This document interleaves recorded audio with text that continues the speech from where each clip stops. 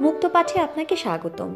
এই video tutorial অনুসরণ করলে আপনি বিভাগ, জেলা অথবা উপজেলার অ্যাডমিন বা প্রোগ্রামার হিসেবে আপনার কাছে আবেদনকৃত কোনো সরকারি অফিসের বাতায়নের পাসওয়ার্ড রিকভারি করতে পারবেন। ধরি আপনি ময়মনসিংহ বিভাগের নেত্রকোনা জেলার পূর্বধলা উপজেলার একজন অ্যাডমিন বা প্রোগ্রামার।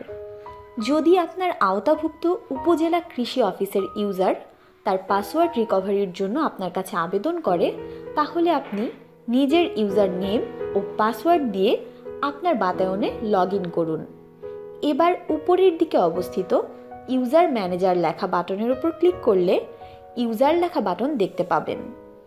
এর উপর ক্লিক করলে সার্চ ইউজার্স নামের এই পেজটি দেখতে পাবেন।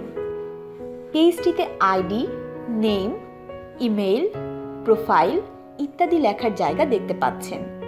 এবার আপনি শুধুমাত্র নেম লেখার নিচের বক্সে আবেদনকৃত অফিস অর্থাৎ উপজেলা কৃষি অফিসের ডোমেইনটি লিখুন। উল্লেখ্য যে, এখানে নেম বলতে ডোমেইন নেম বোঝানো হয়েছে। বক্সে ডোমেইন নেমটি লিখে নিচে সার্চ বাটনে ক্লিক করুন। সাথে সাথেই ক্রিয়েট ইউজার্স নামে একটি পেজ আসবে। এবার পেজটির ডান পাশে থাকা চেঞ্জ পাসওয়ার্ড বাটনে ক্লিক করলে নতুন একটি উইন্ডো আসবে। এখানে আবার চেঞ্জ পাসওয়ার্ড বাটনে ক্লিক করুন। তাৎক্ষণিকভাবে সিস্টেম জেনারেটেড একটা পাসওয়ার্ড তৈরি হবে। দেখুন, এখানে একটি নতুন পাসওয়ার্ড দেখা যাচ্ছে। এই নতুন পাসওয়ার্ডটি আপনি উপজেলা কৃষি অফিসের ইউজারকে জানিয়ে দিবেন এবং বলে দেবেন, তিনি যেন পাসওয়ার্ডটি পাওয়ার সাথে সাথেই পরিবর্তন করে পছন্দ মতো নতুন একটি পাসওয়ার্ড দিয়ে নেন। ধন্যবাদ।